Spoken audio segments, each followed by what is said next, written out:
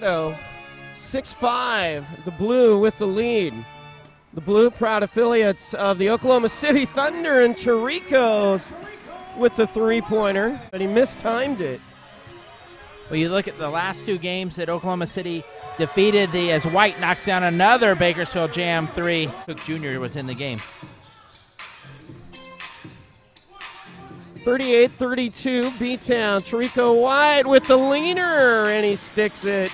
Went from the NBA against fellow rookie and Booker. That was a pretty move. And Terrico Suave. 10 point jam lead. 10 to shoot. White knocks it down. His sixth field goal. To keep it at 10 point deficit, but White's emergence as a scorer, knocking down threes. He's got 22. And this the overall improvement from year one to year two is this shows you how hard he must have worked in the offseason as Terrico White. Holy cow. 30 plus points tonight.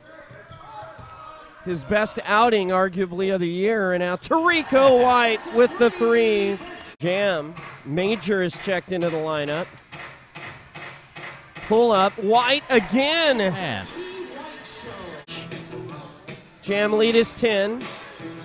Cook Jr. to White in the corner. Three. Yeah. Right with Harrison in his face. Jam really out rebounded the blue 43 to 30 and Terrico White knocks down another three. 14 offensive boards tonight for the jam. That and the, obviously the three point shooting and now we're going to have a three point shot attempt